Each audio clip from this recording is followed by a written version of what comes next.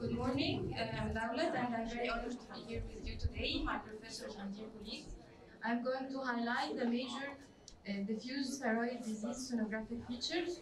Uh, here is a TS section of thyroid gland as mentioned by Dr. Muhammad, where the thyroid um, appears butterfly in appearance, echogenic parenchyma relative to striatal muscles and homogeneous parenchymal echogenicity.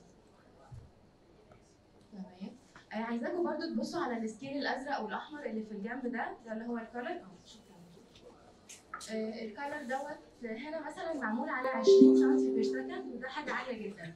عشان كده ال thyroid هنا مثلا في الرسمة ال- الكلوكي ديت مش منورة لكن اللي منور ال common carotid وال internal jugular لما نحب نحط color بقلل قوي ال scale بتاعي ده بخليه مثلا 3 ونص علشان أقدر ألقط ال scanty vascularity اللي بتبقى في ال thyroid gland طيب أنا ب comment على إيه؟ في الثيرويد سايت والسايز والبارنكيمال ايكوجينيسيتي والكالر والبارس الدوبلر زي دكتور محمد قال ال dimensions أهم حاجة ال AP dimension هو ما يعديش 2 سم لأنه لو عدى كده ال gland هتبقى enlarged طيب ال color map أهميته في إيه؟ أهميته إن أنا الطبيعي إني بلاقي ال gland scanty vascularity لو لقيتها enlarged vascularity يبقى كده أنا في عندي increased activity في ال gland سواء كان Graves disease أو Hashitoxicosis الدوبلر هو في ال recent يعني papers بيتكلموا على ال inferior thyroid artery إنه أنا بحط pulsed Doppler على ال inferior thyroid artery بشوف ال velocity فيه قد إيه ال normal أو عندي ان هو يبقى من 25 ل 30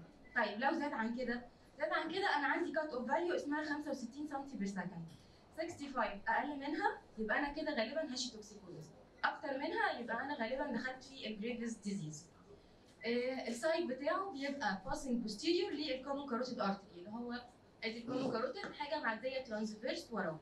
ده ال inferior thyroid artery طيب إيه الحاجات ال common اللي بتقابلنا؟ بيقابلنا الجريفز الهاشيموتو الديكيرفن المالتي نودولار جويتر والثايرويد هايبربليزيا نبدأ بالجريفز كده. أنا عندي إيه هنا مثلا؟ عندي ال gland بقت كبيرة. لو أنا خدت ال AP diameter بتاعها هلاقيه معدي الاثنين وإحنا قلنا في الأول ان ال gland بتبقى hyperechoic homogeneous relative لل strap muscles فاللي حاصل هنا ان ال gland مش homogeneous مش مش كلها زي بعض. في حتت غامقة وحتت فاتحة وكده ولكن هي still relatively يعني isoechoic مثلا أو hyperechoic حاجة بسيطة قوي لل strap muscles اللي موجودة قدامها ولما حطينا ال color بان عندنا ال- اللي هو اسمه ال thyroid inferno أو جحيم ال thyroid. يعني ال gland بدل ما هي كانت scanty vascularity لا ده بقت vascularity عالية جدا في ال gland plus كمان إنه لو تلاحظوا الألوان عندنا هنا أزرق وأحمر وفي حاجات عالية قوي لونها أصفر كده. ده بيحصل لما يكون أنا مظبطة ال color بتاعي على scale قليل ولكن ال peak systolic velocities فيه معدية ال upper limit of scale فاللون بيقلب وبيرجع بيقلب وبيرجع. تمام؟ طيب الجريفز يبقى فيه إيه؟ يبقى فيه high cardiac output إحنا في disease بيعلي ال T 3 وال T 4 مظبوط طيب لما يبقى high cardiac output ده معناه إيه؟ معناه إن ال peak systolic velocity بقت عالية جدا. هتعدي ال 65 سم per second زي ما قلنا في الأول. فكده أنا لما هحط ال color هيحصل ال thyroid inferno بتاعي وده برضو another يعني example تاني لشكل ال Graves disease وال peak systolic velocity هنا لو بصينا على الرقم اللي الرقم اللي طالع يعني مقرب لل 200 فمقرب لل 200 ده خلاص أنا Graves for sure بإذن الله. تمام؟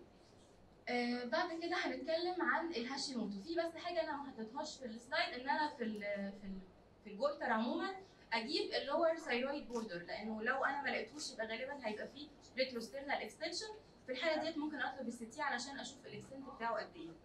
طيب آه بعد كده هنتكلم على الحاجة ال second common أو ال common برضو اللي هي ال Hashimoto thyroiditis الهاشيموتو بيجي presented ب hypothyroidism في الغالب يعني هي بتعدي المرحلة ال acute وبتيجي لنا في ال hypothyroid ولا بتيجي في الأول؟ أنا ما أعرفش.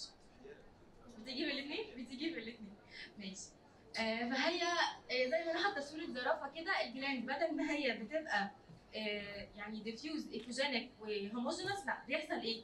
بيحصل lymphocyte infiltration ال lymphocytes بتديني hypoechoic pattern فهنا بيبقى في diffuse lymphocytic infiltration ادتني إن ال gland بقت hypoechoic زائد إن في chronic inflammatory reaction ففي fibrosis يبقى أنا عندي fibrosis أبيض ولون أسود بيديني شكل اسمه ال pseudonodular appearance أو ال giraffe skin appearance ودي الحاجات ال characteristic لل Hashimoto thyroiditis طيب ال color Doppler عندنا أو ال color map either iso either normal vascularity decrease or increase على حسب ال stage اللي بتيجي فيها.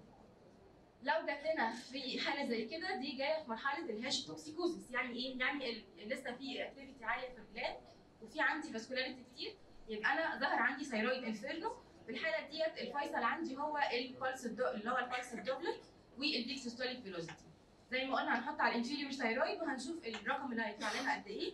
عندنا ال 65 دوت بيحصل مع الجريفز بس أقل من كده مع الهاشيموتو طيب في uh, some papers reported إن بيبقى مع الهاشيموتو في enlargement في ال Delphian lymph node ال Delphian lymph node دي بتبقى lymph node موجودة قدام ال isthmus و mid يعني بره midline شوية كده وساعات ما كنت بشوفها وما كنتش أعرف إن دي اسمها كده بصراحة طيب آه لو لقينا الهاشيموتو آه ظهر معاه nodule هي ال nodule دي مثلا شكلها يدي على إنها TIRADS 3 ولا إيه يا دكتور؟ تمام فهي شكلها إن شاء الله مش حاجة تخوف ولكن الهاشيموتو ممكن يحصل معاه papillary thyroid carcinoma آه صح ولا غلط؟ وبيقلب ليمفوما صح؟ تمام؟ فأنا لما بلاقي nodule مع ال thyroid يعني الأفضل إن أنا آخد منها biopsy علشان بس for fear إن يبقى فيها dysplastic changes أو حاجة. آه ولو لقيت إن ال patient فجأة اشتكت من إن ال gland بتاعتها فيها rapid enlargement في ال size وأنا بعمل ال ultrasound بتاعي لقيت ال right lobe هنا شكله هاشيموتو مش مشكلة. لكن ال left lobe بقى أكبر من ال right lobe plus إن هو بقى diffusely hypoechoic يعني هو مش طبيعي إن هو يبقى شكله كده. في الحالة ديت برضه هاخد منها biopsy والحالة ديت طلعت pathologically proven إنها قلبت بليمفوما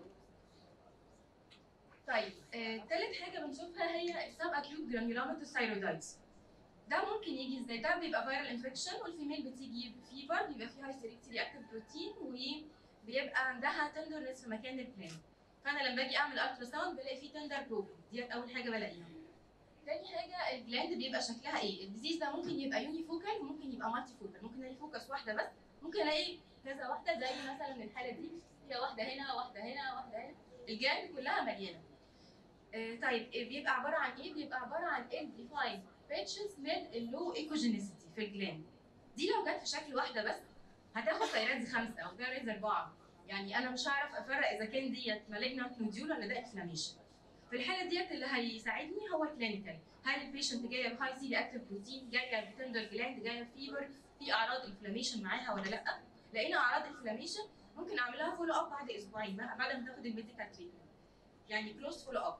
يا إما هل- هلاقيها حصل لها complete resolution مثلا في حالة هنا كان عندها focus واحدة بس وبعد أما عملنا لها follow up في خلال أربع أسابيع حصل إن ال- ال- ال focus دي راحت خلاص يبقى ده كده كانت حاجة inflammatory ما راحتش أو فضلت زي ما هي ساعتها هناخد الفيروس تمام ولو جه بالشكل ال multifocal هيبقى اللي هو يعني multifocal multifocal patches من ال decreased echogenicity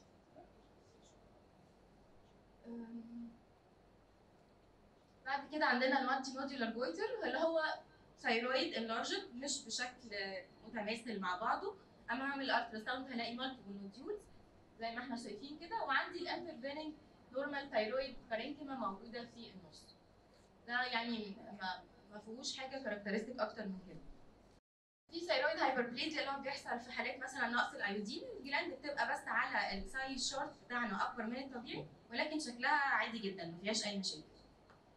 طيب فكمرايز كده الجريفز بيبقى إيه مثلا الحاجات المهمة اللي فيه؟ قولي لنا بقى يا دكتوره منار انت تمام الثايرويد انفيرنو والديك سيستوليك فيلوسيتي اللي معدية اللي هي 65 سم بير سكند الدكتوره دينا الهشيموتو ماشي على ال 65 والمايكرونوديولار باترن والدي كيرفن اليوني فوكال والمالتي فوكال الديفايند باتشز والمالتي نوديولار جولدر and thank you very much